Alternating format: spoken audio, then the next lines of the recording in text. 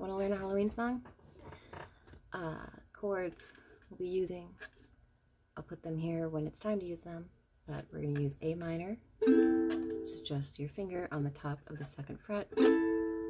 C, which is your finger on the bottom of the third fret. Then G. So, hmm.